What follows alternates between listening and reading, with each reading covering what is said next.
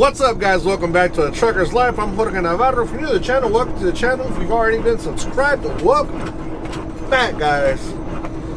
And I'm excited because I am almost to the house.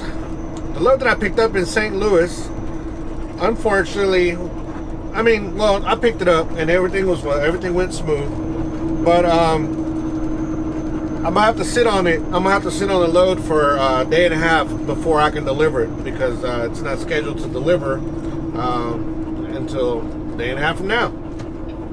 So what I'm doing is I'm just gonna I'm riding these back roads out here, and I'm very close to the house, probably about 30 minutes away or 45 minutes away from the house, and uh, so I'm riding these back roads to get back to my house, and then I'll uh, go deliver that when the scheduled time is and be done with it. And then start off uh, a new week because we already have a load going to Georgia. So gotta keep on working guys and keep on working I would like to spend more than a day and a half at the house with my family but right now I will take whatever comes because there's a lot of us that aren't working a lot of you guys that aren't working and uh, can't say no to work. Can't say no to work. Just gotta continue to take care of ourselves. Buy me some uh, some little some uh, face masks. A little pricey, but for health reasons, I think that uh, it was well worth it. Ten dollars for five. Yeah. Right now, we're about to pass up right here the Livingston Dam of Livingston, Texas or Livingston, uh, actually Livingston River, the lake, and this is the, the Trinity River right here that we're going over right now. And there are a lot of boats out there, a lot of people fishing. Honk somebody. Let's honk. Anybody, anybody waves?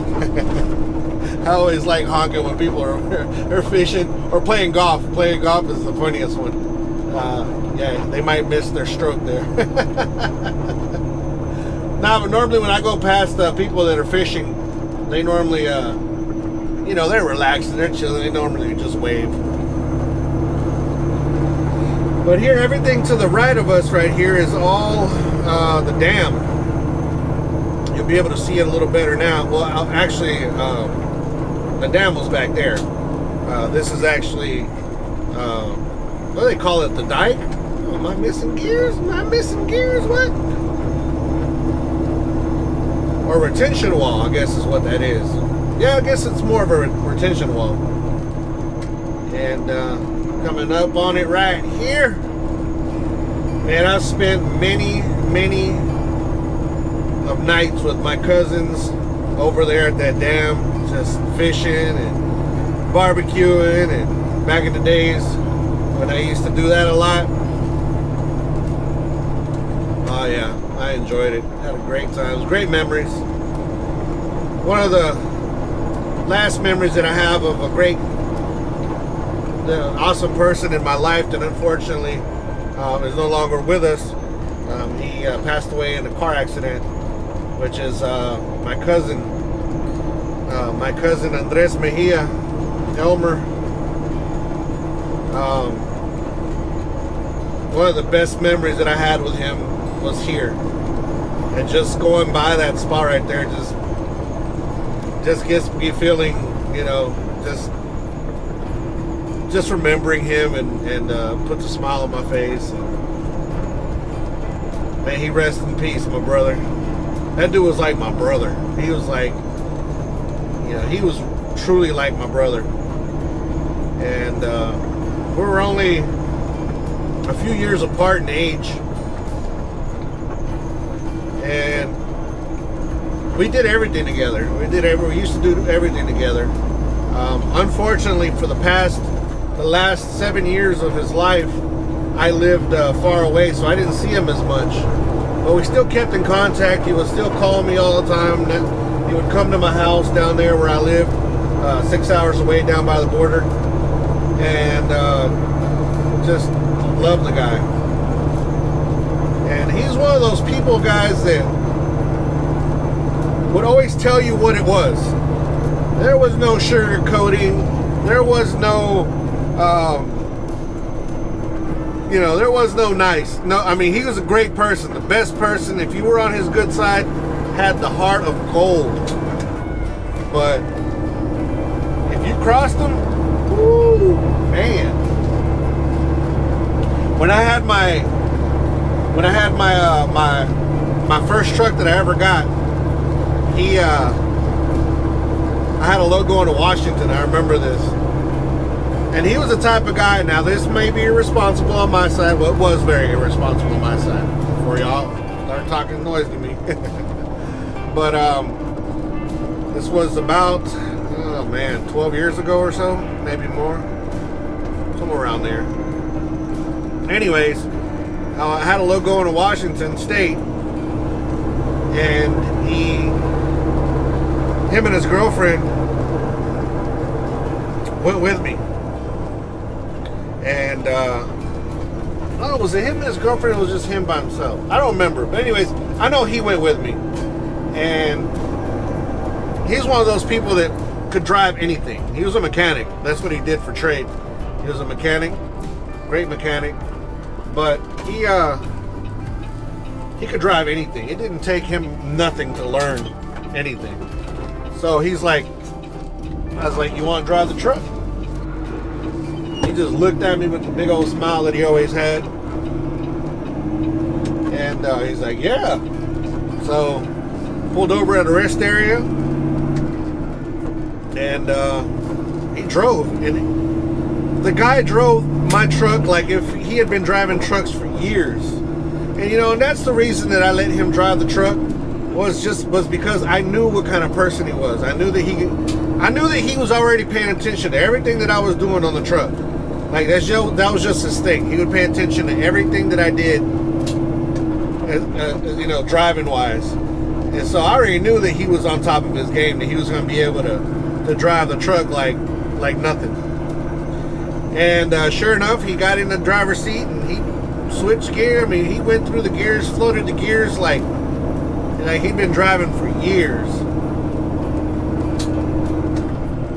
And uh, you know, situations like that were able to give like you know in the trucking has has been able to give me um, great opportunities to take my family. Unfortunately, here we're not allowed to have any uh, passengers with us, which really really sucks. I mean, I really really really really hate that. I understand why they do it. I just really hate that. Um, they used to company I used to work for would allow your wife at least, and that was pretty cool because during the summer breaks, the kids would uh, stay at my parents or her, or, uh, her parents' house, and she would ride with me for a couple of weeks, and that was that was the thing. That was awesome. But this company doesn't allow that.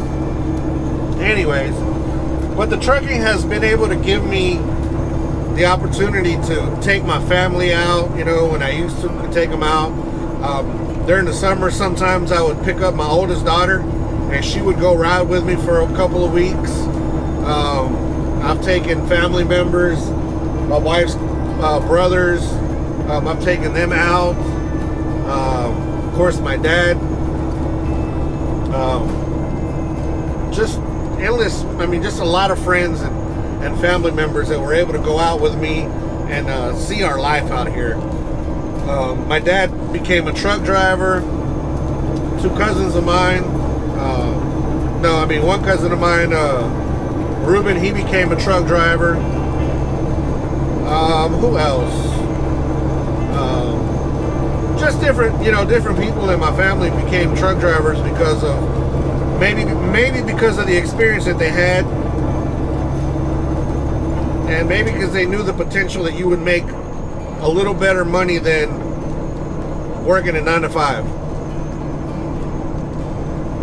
Like I said before, you're not going to get rich, but you you make pretty decent money. I can't really complain too much. Um, but yeah, this this this this industry has gotten me, given me the opportunity to just to look at a person's eyes when they see something new. And it might not be any anything big. Just leaving Texas into Louisiana, into Louisiana, I've seen pe- people that have taken their eyes light up, saying, "Wow, I actually left Texas. I'm actually in a new state that they've never been in." You know, just that it was so much satisfaction to me, and just being able to um, show them what life was really like out here was amazing. And that was one of the things that with my cousin that um, that I remember so much. And he, he he made such a big impact in my life. Anybody that was that knew him and that loved him will tell you the same thing. He's made so much impact. He made he made so much impact in all of their lives, and they would be lying if they told you they didn't think about him all the time. Uh, because I would be lying if I told you I didn't think about him all the time. I think about him every day. Like there's one situation, like any situation that I'm in, I immediately think about him. Just certain things that happen. Most of the time, it's with uh, vehicles. Like I'll see a car that, that he would have loved to have, or or uh, you know would have admired like like I do, and uh, it just it just brings me back, brings me back just thinking about him. I mean, even sometimes when something breaks on on my truck or something or on my vehicle, I just I feel I, I just feel like like like answering. I feel like dialing that phone and uh, asking him what's wrong. And that's what I used to do. I would just tell him, "Hey man, my car's making this noise," and he would just tell you. First of all, he'd tell you you bought a piece of junk. That was a guarantee. That was the first thing he would tell you. Uh, every time you called him, hey, cuz uh, my car is making this noise when it turns. and he he had this saying. Uh, see if y'all can catch up to it. He had this saying. It was he said it real quick too. It was like, "Shut about a Honda," and then you'd be like, "What?" And he'd be like, "Yeah, shit about a Honda." Like, what are you talking about? He's like, "You're not listening. You should have bought a Honda." He loved Hondas.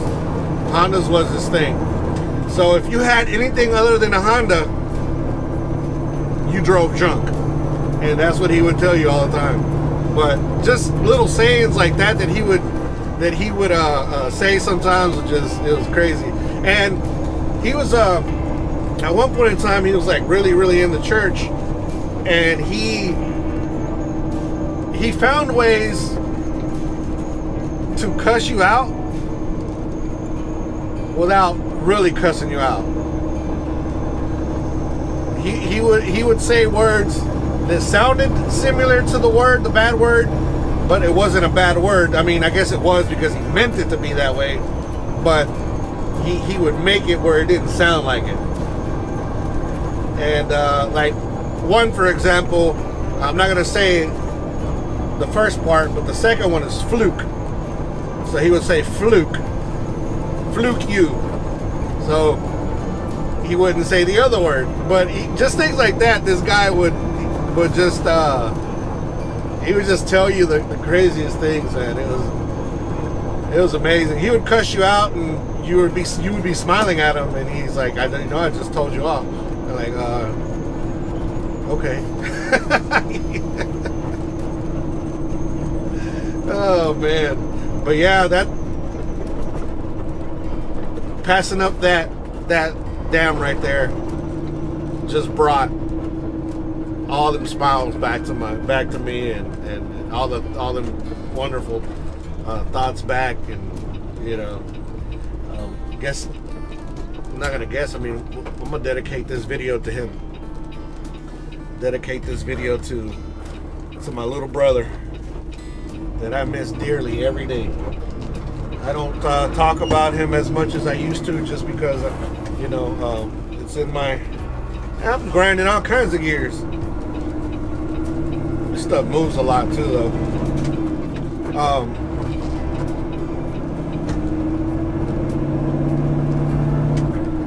yeah, I don't talk about him a whole whole lot just because. I mean, uh, just want him to rest in peace. But I have him in my mind every single day of my life. Yes, I do. Just like my cousin Joel too was another one that's big impact in my life. I've talked about him a bunch of times, and he he uh, he was the he's the reason for the suicide prevention that I that I do. Uh, my cousin Joel Jr. is what we called him, what I called him. Um,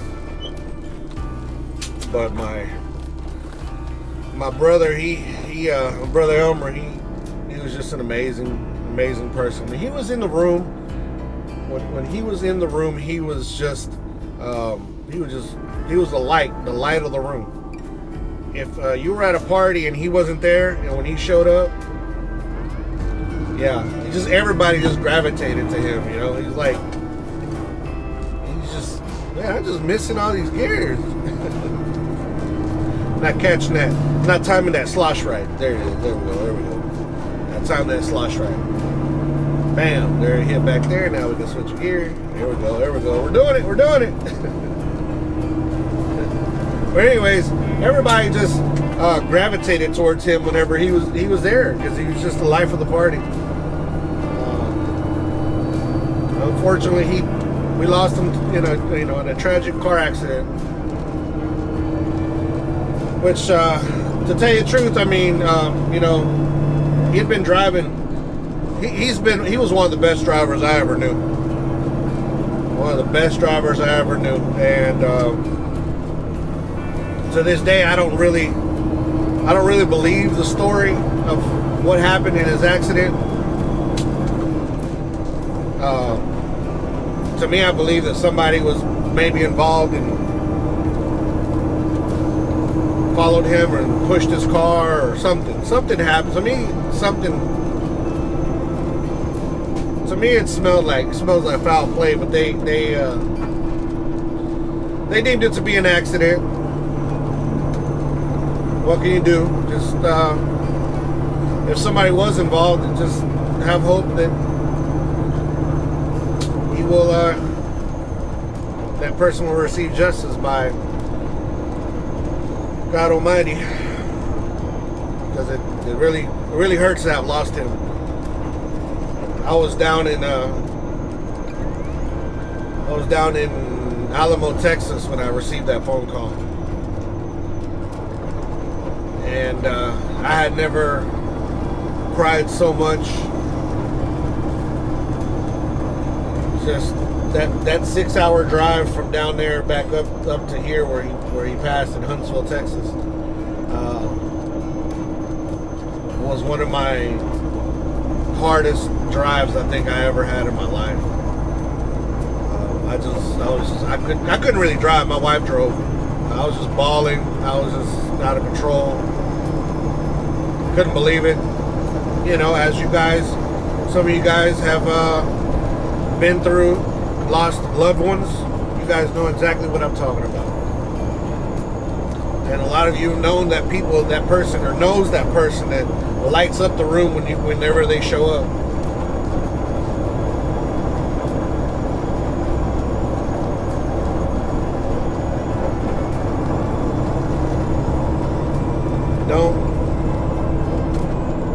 Cherish every moment.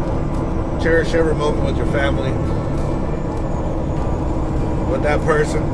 Tell them how much they mean to you for being the light of the room and for just uh, making you feel good. Let them know. Tell them that. Because you never know, like what happened with my with my little brother. He was my cousin my blood, but to me, in my mind and in my heart, he was my little brother. And uh, sorry to have gotten a little sentimental with you guys, but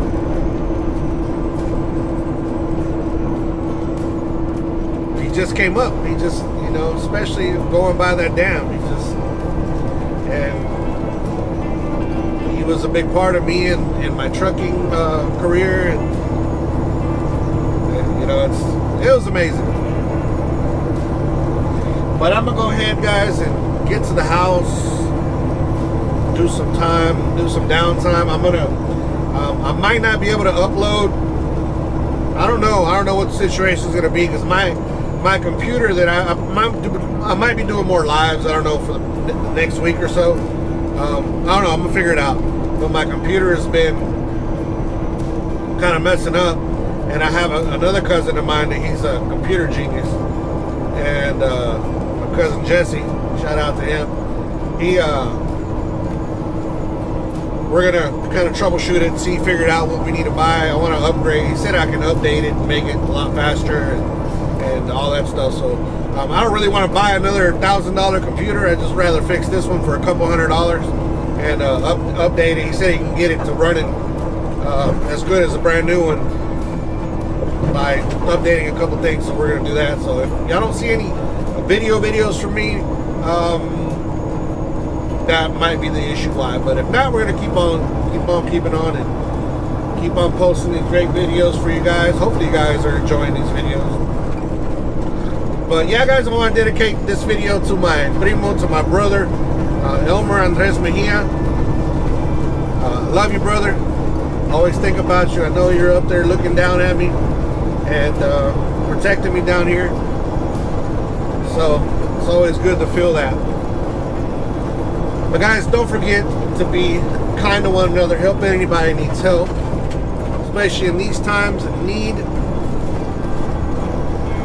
Do what you can for somebody if you can do it. If you have the means, do it, and uh, you will feel good about it. I promise you.